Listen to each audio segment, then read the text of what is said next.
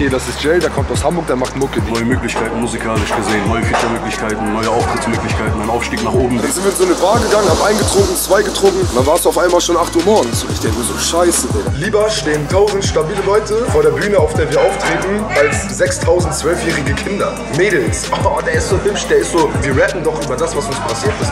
Было сегодня интервью, было у нас Hamburg Crime, Клик 99. Yo, yo, yo, einen wunderschönen guten Tag. Äh, Ich treffe mich jetzt gleich mit Jail. Wer ihn nicht kennt, sollte ihn auf jeden Fall auschecken. Ist ein Youngster aus Hamburg, hat letztes Jahr sein Debütalbum Gossen Eloquenz rausgebracht über Hamburg Crime. Wer Hamburg Crime nicht kennt, ist ein legendäres Hamburger Label. Gibt es schon Ewigkeiten und da hat unter anderem auch Bones MC seine ersten Schritte gemacht. Dann wurde das Label eine Zeit lang gar nicht bespielt, war nicht aktiv und letztes Jahr hat sich der ehemalige Gründer von Hamburg Crime gedacht, Dicker, wir machen das wieder auf, weil dieser Jail muss gesigned werden. Und seitdem gibt es es wieder. Erstmal quatsch ich jetzt mit Jail über seine Comedy-EP Jailbreak.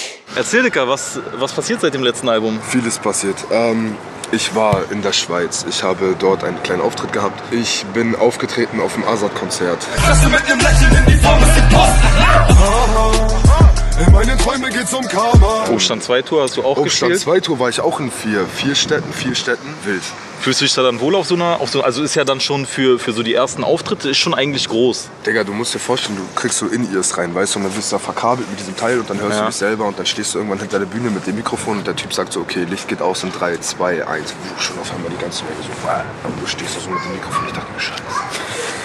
Ja, und dann wird der Vorhang zur Seite gezogen und dann gehst du rauf und dann ziehst du dein Ding durch. Da hast du auch so ein bisschen Tunnelblick. So. Du Ja. guckst die Leute an, aber du siehst sie nicht richtig, weißt du? Du guckst die Menschen an, aber du guckst so ein bisschen durch sie durch, weil du voll in deinem Film bist. War schon ein hartes Stück und nach jedem Auftritt habe ich mich auch so wie so ein Okay, was soll jetzt noch passieren? So, Ja. was soll kommen? Ein paar haben mich sogar da geahnt. So, ich meine, äh, mein, mein Album hat äh, zwei Millionen Streams bekommen. Äh, Gossen Eloquenz ist ganz gut gelaufen, ich habe mich mega gefreut.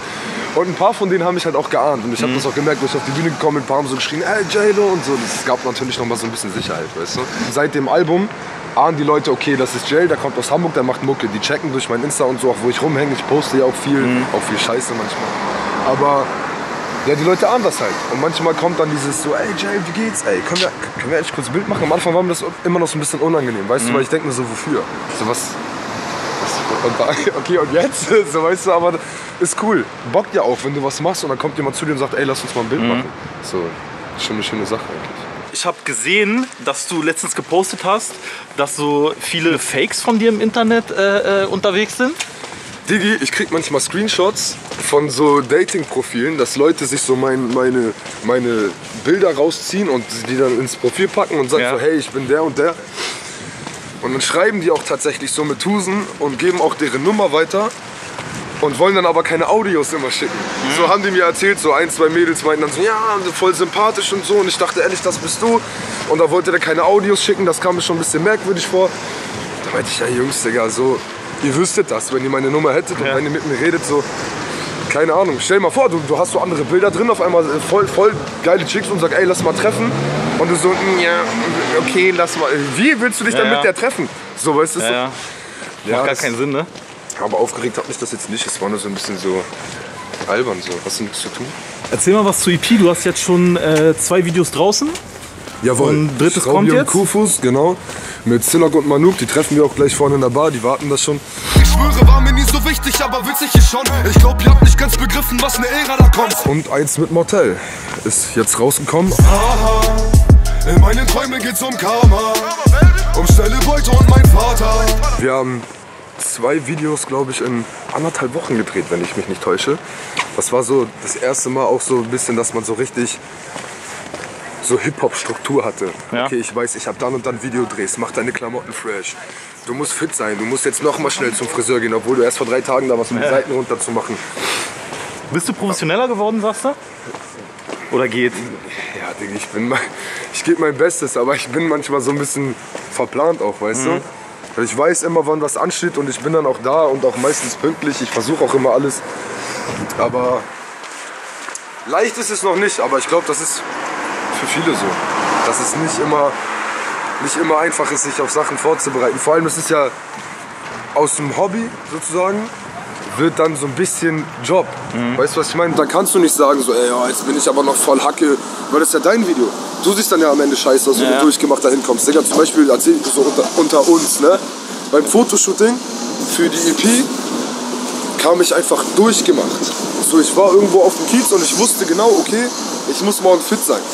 Ja, dann sind wir in so eine Bar gegangen, hab eingetrunken, zwei getrunken. Und dann war es auf einmal schon 8 Uhr morgens. Und ich denke mir so, scheiße, Digga, was soll ich jetzt noch nach Hause fahren? In zwei Stunden fängt das Ja. Shooting an. Dann bin ich da hingekommen, komplett durchgemacht, Digga. Ja, aber ist trotzdem ein ganz cooles Foto geworden. Auf einem Song kommst du auf Englisch rein, machst du sechs, sechs, sechs oder acht Bars auf Englisch. But shut the fuck up when you see me in the neighborhood dinner. Digi, ich weiß nicht warum. Ich, ich, weiß, ich, ich weiß noch nicht, ob ich das geschrieben habe, ob ich im Studio darauf kam. Es war, es war auch nichts von irgendjemand anderem, es war eine Zeile von mir. Es war schon so ein bisschen in Gedanken an M natürlich, so ein bisschen so einen kleinen Tribut. Ähm, und dann dachte ich, weißt du was, scheiß drauf. Mach einfach jetzt mal sechs Bars oder wie viele das waren in äh, Englisch und dann zieh's auf Deutsch einfach weiter. Habe ich gemacht, dachte mir, ey, scheiß drauf, hau das einfach so rauf, entweder ist geil oder ist nicht geil. Ich fand's in dem Moment cool, deswegen habe ich's gemacht. Just for fun. Alles klar, Juti, Wollen wir Alter. reingehen? Ich, Ja. seh- ich sehe die Jungs schon. Dann äh, gehen wir jetzt hier rein, Alter. War gut? Achso, läuft gut? noch. Ja, ja. Wir haben vor, ich meine ungefähr zwei oder drei Monaten war das her, ähm, zu uns ins Label, zu Hamburg Rhyme, die Klick 99 geholt. Ich war da vorher alleine, ich kenne die Jungs äh, seit ich klein bin sozusagen. Kommen alle aus dem Süden, ich aus Neugraben, die Jungs aus Neuwiental. Ähm, so zwei Minuten voneinander entfernt, ist so mäßig ein, ändert sich 47, 49, postleitzahlmäßig ist das fast beieinander. Ja, aber das ist Conny, der Beatproduzent von der Klick, ähm, der die Jungs sozusagen abrundet, abmischt, der mit dem Mucke macht. Das ist Manuk, das ist UJ, das ist Juice und das ist Sinner.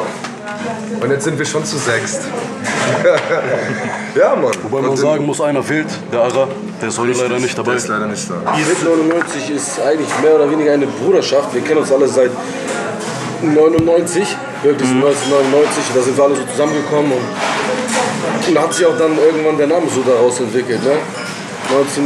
1999, Klick 99. Ne? Und ich mache bestimmt schon seit zwölf Jahren Musik. Wir haben schon als kleine Hosenscheiße angefangen, Musik zu machen miteinander. So. Ja, und jetzt sitzen wir alle an einem Tisch. Guck mal, die waren ja zum Beispiel wie ich genau vorher nicht beim Label. Wir haben jetzt alle Verträge unterschrieben.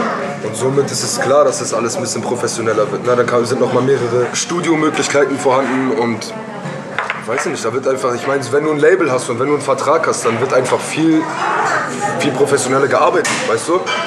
dass wir alle, dass wir zusammenarbeiten, dass wir miteinander arbeiten, dass wir ein Herz und eine Seele werden, dass wir nicht nur an solchen Tagen wie heute bei einem Interview zusammen an einen Tisch sitzen, sondern uns auch privat an einen Tisch setzen, dass wir zusammen aus einem Teller essen, aus demselben Glas trinken.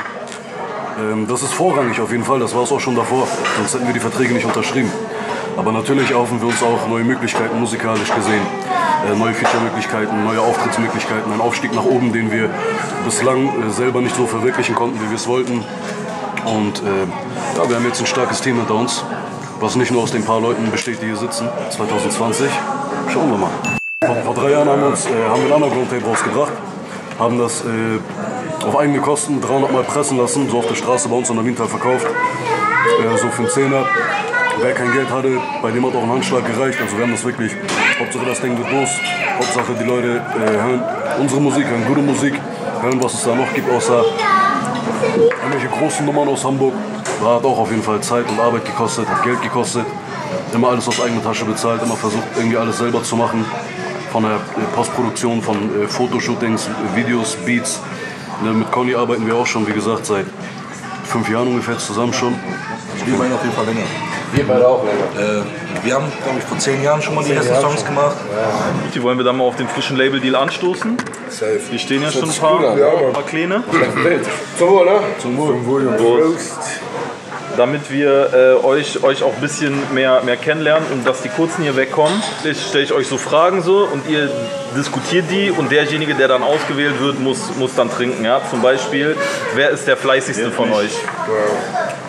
Fleißigste. Also ich würde sagen, der Jüdier, ja. Sag auch. Ja? Trinken?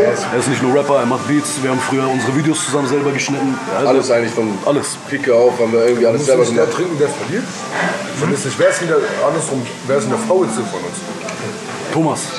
Thomas. Ja? Den Wodka? ja, geil. Okay, Schluss ist seine Seele. Wobei ich sagen muss, ich bin auch nicht gerade das Gelbe vom Ei, was meine Studiobesuche angeht. Weißt du, ich habe immer so zwei, drei Monate Pause dazwischen und ich bin ja auch so ein Typ, ich schreibe selten im Studio. Ich gehe dann immer vorbereitet rein, weißt du? Deswegen. Man sucht sich seine Ausreden, weißt du? Wird das jetzt so faul sein? Ja. Du, ich habe seit zwei Wochen keine Beats mehr gemacht. Was würdet ihr sagen, wer ist der, wer ist der technisch beste Rapper von euch? Oh, das kam schnell, ne? also jeder von uns hat so seine, seine Stärken, aber das war gar nicht die Frage. Wer ist der lyrisch? Willst du Streitmann-Zettel mit uns jetzt? Mäßig. Darauf muss jeder eintrinken. Ja, komm. Ja, ich wüsste. Schönes Ding. Auf unsere lyrische Finesse. Wird es dann äh, Klick 99 eher so als, eher so als Gruppe geben? Oder äh, als, als Einzelprojekte und dann mal irgendwie sowas Sampler-mäßiges? Wir sind die ganze Zeit eine Gruppe, das wird auch so bleiben. Nur äh, die Songs, die entstehen, sind dann auch mal zum Beispiel, wo nur zwei aus der Gruppe drauf sind oder auch mal ein Solo-Song. Also, Wir machen Straßenmucke und das machen die Jungs ja auch schon lange. Straßenmucke mit ein bisschen mehr durchdachtem Kopf. Wir sind alle unserer Sprache mächtig und können uns dementsprechend auch gut ausdrücken. Und wenn jetzt mal irgendwo, ich bin nicht der Typ dafür, ähm, aber wenn jetzt mal irgendwo zum Beispiel, was sich dann auch gut anhört, verstehst du, da mal eine Adlib irgendwo auf Autotune ist oder mal hier und da vielleicht eine Strophe gesungen wird, ist das das eine.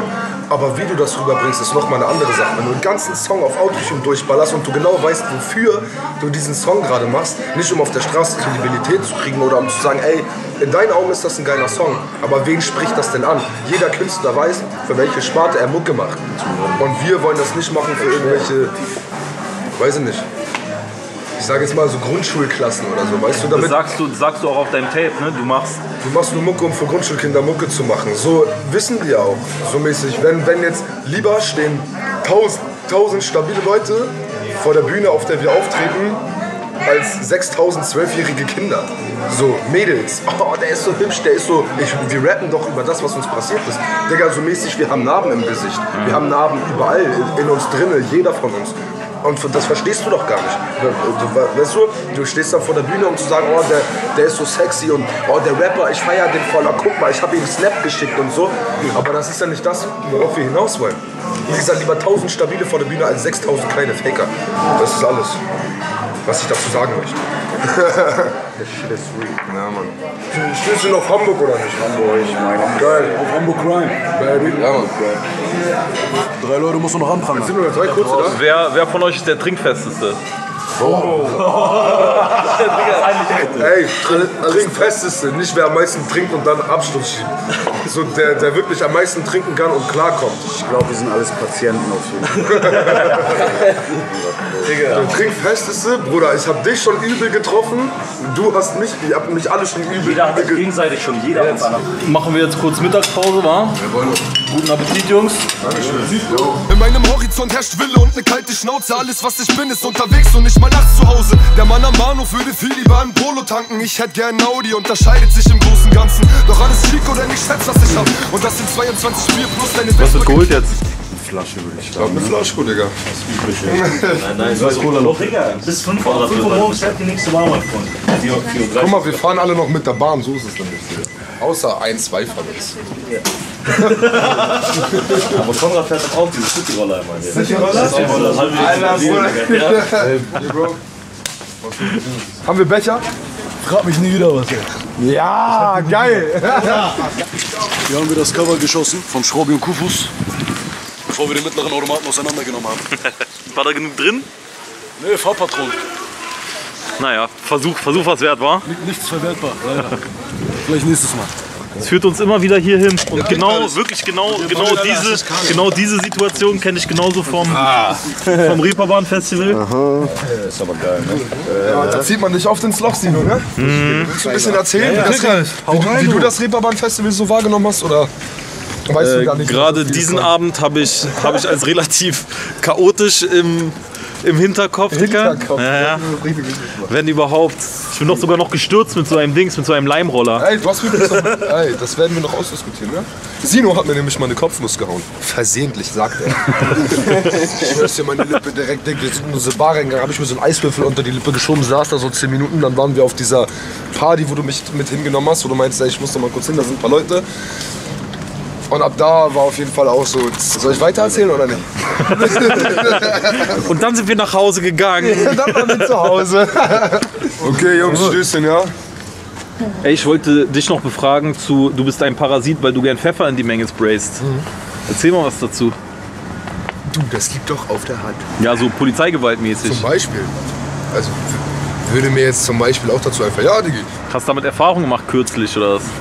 Boah, kürzlich jetzt aktuell nicht, aber ich habe schon ein, zwei Mal die andere, ein oder andere Ladung äh, auf mein Konto schreiben können. ja, die, ja, Digga, uff, das ist nicht witzig, Digga. Tut weh. Das tut echt weh, Digga, ja. Ist keine Luft mehr und so. Nee, das war ganz krass, Digga. Ich habe auch schon einmal dieses Pfeffergel bekommen, was dann überall klebt und du das verreibst und so. Das war so krass, das hat mich richtig von den Beinen gehauen. Das war nicht nur einfach dieses so, okay, ich krieg jetzt kein, äh, kein also ich kann nichts sehen, ich krieg keine Luft und so, klar. Bester Tipp dafür übrigens, Jungs. Für die, die auch gerne auf Demos gehen oder äh, irgendwie komisch äh, unterwegs sind, dass sie mal von anderen Leuten Pfeffer kriegen außerhalb von Bullen. Ähm, Wodka. Wodka. Ich habe mir einmal eine Flasche Woddy geholt, wirklich jetzt. Und das hat auch gebrannt, aber ich habe Wodka einfach pur über meinen Nacken gegossen und in mein Gesicht gerieben und in die Augen auch und so, glaub mir. Nach 10 Minuten geht's dir besser.